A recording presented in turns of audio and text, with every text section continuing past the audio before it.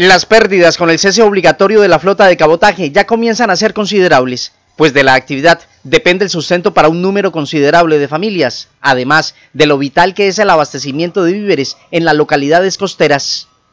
O sea, es, una, es un variable muy tremendo porque ahí tenemos el tema de la incidencia económica que afecta la, la economía, pues por supuesto que afecta,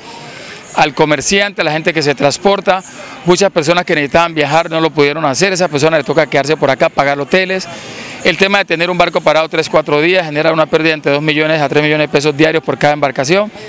El comerciante que tenía productos, inclusive subimos de algo de una tratomula que venía de Bogotá, ya no encuentra transporte, le toca dejarla aquí hasta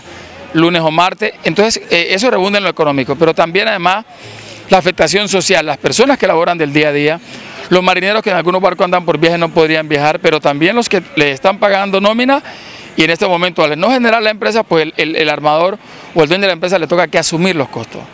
El temor a tener alguna situación que colocara en riesgo la vida de marineros y viajeros pudo más que las garantías de acompañamiento que les comunicó la fuerza pública destacada en la parte marítima.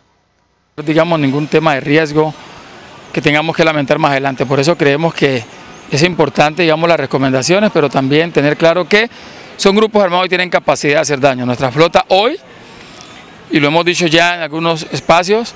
prácticamente para nosotros el paro son cuatro días porque pues tenemos barcos que de salir desde las 6 de la tarde de Buenaventura, desde Buenaventura, llegar a las 12 o 10 de la mañana al otro día, pues en pleno nos cogería el paro armado y por eso eh, prácticamente la flota desde hoy pues generó, digamos, la parálisis completa.